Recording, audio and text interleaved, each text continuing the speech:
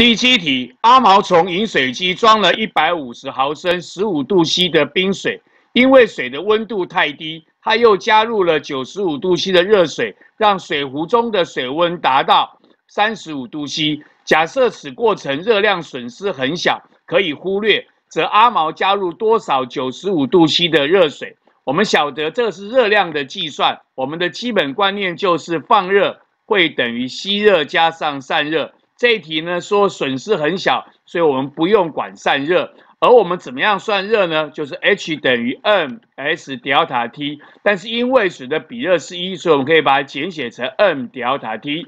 然后呢，这里的 m 是质量，可是题目的答案都是毫升。因为水的密度是一，所以一毫升就是一公克，十公克就是十毫升，所以我们可以直接的换算。否则我们就还要把我们的体积去乘以密度，然后才能得到我们所需要的质量。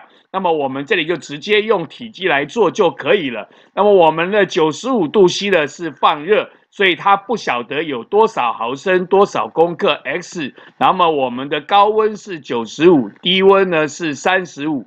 然后呢，等于我们的吸热是我们一百五十毫升，也是一百五十公克，乘以我们的高温呢是三十五，我们的低温呢是十五，所以我们算出来呢，这边是六十 x 等于一百五十乘以二十，这里消掉一个三，再消掉会有一个五十，所以 x 就会等于五十公克，也就是五十毫升。所以第七题问我们说，则阿毛加入了多少九十五度 C 的热水？我们答案选的是 B，五十毫升。